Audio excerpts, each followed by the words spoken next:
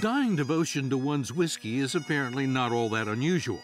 While we were on Islay, the camera crew ran into a party of Canadians, the friends and family of a deceased single malt lover named Bill, who wanted his ashes scattered in the waters opposite his favorite distillery. Funds for the pilgrimage were set aside in his will. That's what I wanted. It's good, it's good. To Bill! Bill, Angela. Now he's happy. Now he's happy.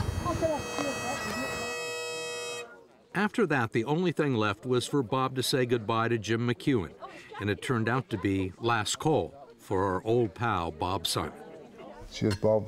Hope you've enjoyed this little visit here. You're speaking in the past, it's not over. Yeah, I'm going to get you out of here, man. This is it's costing me a fortune.